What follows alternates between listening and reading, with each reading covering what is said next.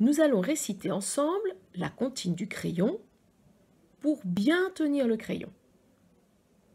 D'abord, tu te souviens, tu vas détendre ta main, tu peux faire main molle et la poser.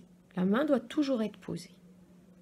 On va commencer pour les droitiers. Donc là, j'écris avec ma main droite, c'est ma main droite qui est posée. La main est bien détendue, pas crispée, ni toute molle. Elle est posée sur la tranche.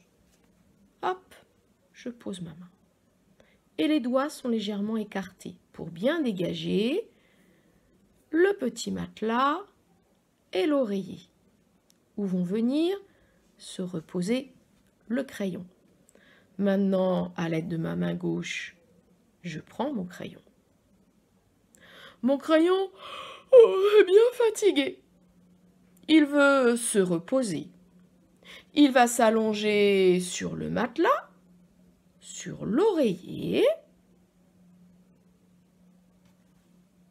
Maintenant, tu replies bien ton pouce et ton index.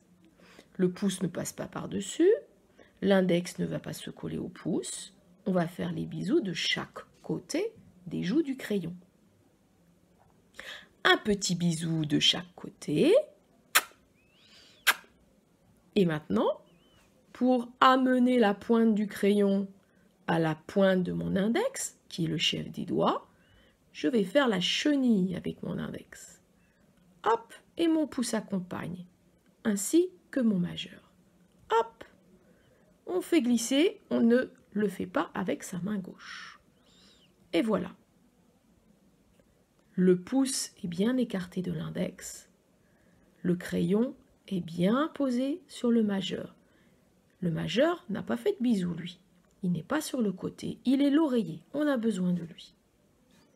Et on est prêt à écrire en faisant des boucles qui seront formées par l'index. Les deux autres doigts accompagnent.